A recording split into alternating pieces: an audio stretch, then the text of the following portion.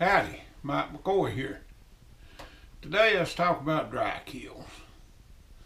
We had a dry kiln for all four or five years and done right well with it. And it was a small dry kiln. It was a Nyle electric unit. And uh, I bought the thing on a whim. I, I, didn't even, it sat in my garage for a year for I didn't even know if it worked for I just bought the unit. I could have bought the whole building and everything, but is in Maryville, Tennessee, and that's about 100 miles from here, and it's like 14 foot wide, and I figured it'd cost more to get it here than it'd be worth. So we built a new building and uh, put it in. It's a nice little building. We insulate it and everything. If you got to really insulate something like that, and put it in there and plugged it up and cut the little unit on it, it sat there and worked. And uh, it burnt It'll either be three or four years ago this April. I think it'll be four years ago this April. And uh, that's pretty devastating to us. I didn't think I had that much money in it till I sat down the night after it burned and put a pencil to it. I probably lost ten thousand dollars if you added the value of the lumber and every, you know everything. But like an idiot, I didn't do insurance, so it don't matter what it's worth. But anyway, if, if you've got a smaller mill, like these guys, these little band mills and stuff, if you get you like a thousand or two foot, two thousand foot kiln, you can really add some value to your product there. And uh, like these solar kilns, they, as far as energy and stuff, they don't hardly cost anything to operate for now that now uh, I had it was electric and it cost probably hundred and fifty dollars to kill a charge with it, you know. And I've talked to two or three people that's got these solar kilns, and I've heard good things and bad things. You'll have to do your own research on it. I know Virginia Tech has got some of the best information on building plans and stuff one I've seen, and they at WoodWeb they they've got a lot of good information on dry killing and and so forth. But yeah, you build you a solar kiln and get you a good moisture meter. They're not cheap, but you know, get you a good one, and that way you'll know more what you're doing when when you're checking it and stuff like that. But uh, I done right well with it, and and even these bigger mills. Me and Wade talked about dry kilns and stuff, and I had four or five books here, and I took him one for that's all I could find. We put those up somewhere that that had a lot of information on dry kilns, and and you need all the information you can get if you're going to put one up. For dry killing is almost an art in itself. Uh, like the first time I dried any cherry, I had some really nice cherry, and I wanted to take good care of it so I could get top dollar and we cut it and put it on sticks for a few weeks and then put it in the kiln. I used a real gentle schedule, and when we took that stuff out of there, it was warped and cupped and everything else. And I talked to that friend of mine. It, it, is a dry kiln, man. He said you went about that backwards. Said you you've got to dry cherry fast. And the next I dried, I dried it fast and had way better luck with it and oak's hard to dry. Oak is, for me, oak is the hardest wood they are to dry. For if you get a bit aggressive with it, it'll honeycomb. If it honeycombs, it's just virtually worthless unless they're building like real rustic furniture out of it, you know. And another thing, if you're thinking about a dry kiln and you're a smaller operation, be real cautious about sawing somebody else's logs and drying them for them for when I first started out in this business, there was old boy up there in Asheville. He's a young guy, he's younger than me. And he bought a new Wood-Mizer band mill and put in a dry kiln. I think, I believe he put in two dry kilns, 15,000 feet to the kiln. And some guy hard him saw a bunch of oak, and he saw a bunch of red oak, like 30,000 feet, and honeycombed every foot of it. And the guy I think wound up allowing him, but anyway, he had to buy that lumber, and it it basically bankrupted him. I don't think he ever did recover over that. And that's something for you to think about. You know, if you're drying your own lumber and you mess it up, you know, the time and whatever you had in it's what's going to cost you. But now if you're drying somebody else's lumber, they can be thousands of dollars tied up right there. I know the whole time I had my one, I wasn't drying nobody else's lumber. I just dried my own. For I just, I told him, I said, I'll saw it for you and you can take it to this guy I know in Swannanoa and he can dry it for you. I won't dry it. And this guy in Swannanoa it's good. I mean, he'd, he'd been around enough to know how to do it. But like eight quarter oak I just couldn't do it.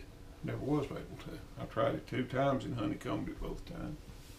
Poplar dries good. You just put poplar in there and cut it wide open cook it. Pine, same way. Walnut and cherry, they dry good. And, uh, it, you know, it's just a matter of learning what you're doing and, and sticking with it and watching it for, uh, my kiln burnt, and I, to this day I don't know exactly what burned it. I don't know if it was vandals or something shorted out in the unit. All I know is it burnt to the ground. The phone rung about six o'clock that morning. Somebody said your sawmill's on fire, and uh, I run down there as hard as I could, and I started the loader. And I was going to try to push the kiln away from the mill for it. It had done started on one of the sheds next to the mill. And this, I got almost up again. I seen the fire department come in. I just backed out their and let them put it out. If if they hadn't got there when they did, we might have lost everything we had. I know it, it was getting serious. And uh, and you know, really, a, a dry kiln it might not be the best idea in the world to build one out of wood, and that's what we built that out of. And I didn't clean it out. As I, they get a lot of dust in them just over time, and all that dust fogging around. Maybe a fan shorted out. I, I don't know what happened, but it it sure burnt to the ground. And uh, it, it was a nice little kiln. A, I forget the number on it. I just know it was a Nyle. and I contacted Nyle, and they sent me all the paperwork on it and stuff out of, you know troubleshooting all that stuff. They're real nice people. But yeah, dry kiln's a good choice. You can't. They, there's a lot of ways you can spend your money if you've got a sawmill to make money, and that'd be one of them. You know.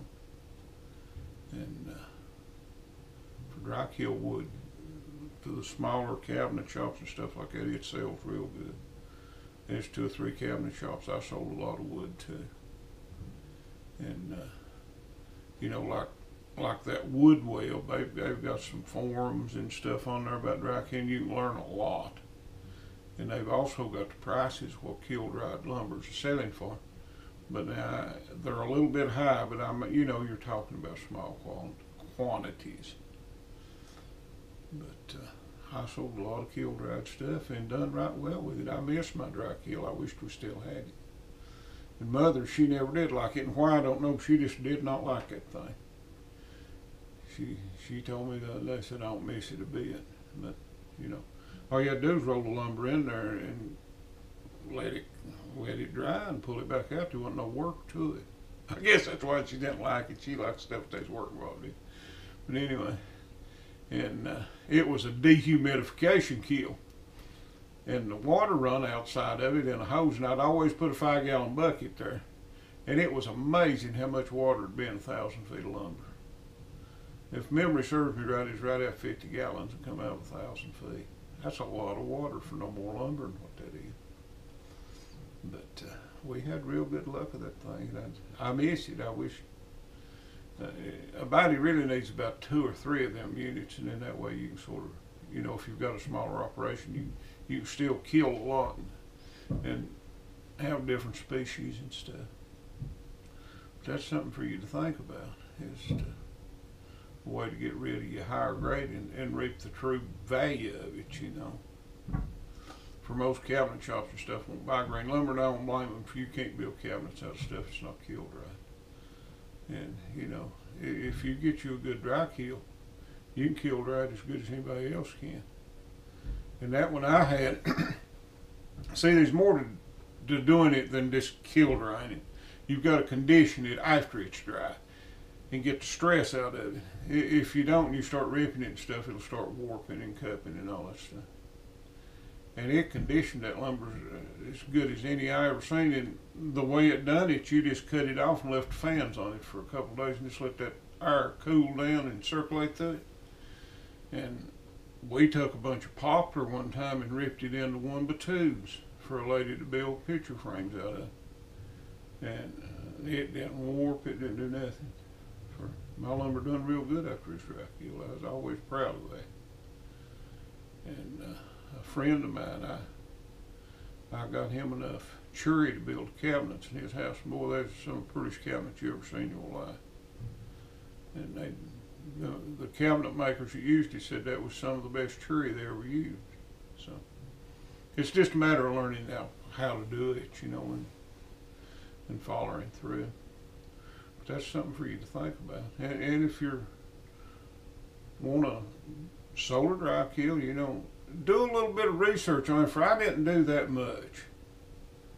Some people says that they don't dry it good. Some says they do an excellent job. So you know, you just be the own judge of that. But I do know when you dry it, it dries it slow, and that that would make me think there'd be less stress on it. And uh, like if you use solar powered fans and stuff, you you've got no money in it other than just buying it. Like mine was electric, it it cost like a hundred, either a hundred or hundred and fifty dollars to to kill it. So you know, that's something to think about. Well, that's enough of my rambling on, and maybe it'll warm up next week to where I won't be stir crazy. And me and mother can saw a little bit for she's gonna freeze to death and get frostbite out here if she can't stand the house and it's down to about eight or ten degrees now. And uh, maybe it'll warm up next week. We've got a couple of orders and she's getting real antsy about that for am too. We need to get them out. So maybe it'll warm up. Talk at you later. Bye.